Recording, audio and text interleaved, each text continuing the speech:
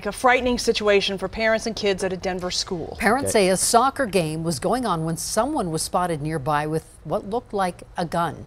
Well, Denver 7's Amy Wattis is joining us. Uh, and Amy, parents are saying they feel like this situation isn't being taken seriously. And the incident happened at Castro Elementary in Denver's Westwood neighborhood last night. Denver police say the suspect had a BB gun and is currently in custody on an outstanding warrant.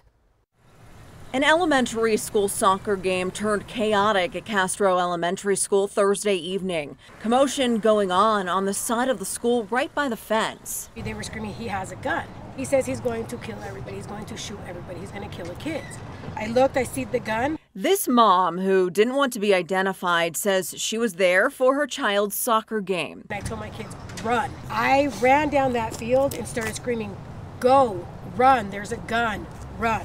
Everybody started running. We, the people started calling the police right away. Police arrived, but parents say the response wasn't quick enough. When we asked him, why wasn't this a quick response? Like, you guys took 25 minutes to get here. He said, there's no police officers. Denver police tell Denver 7 someone from the school called dispatch at 5:26 p.m. The first officer was dispatched at 5:33 and got to Castro Elementary at 5:38. Investigators detained the suspect a few blocks away near Kentucky and Irving and found a BB gun on him. DPD says 5 officers responded. The school principal sent out this letter to parents saying in part, DPD and DPS safety were immediately contacted. As a result, we were put into a secured perimeter. No one was directly threatened. Members of the Department of Safety and Denver Police are investigating the situation and have determined that the weapon that was seen was a BB gun.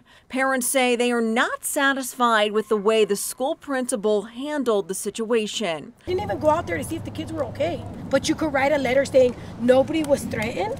And now these parents say their kids are traumatized by what happened. My daughter's been up all night sleeping next to me, crying in her sleep.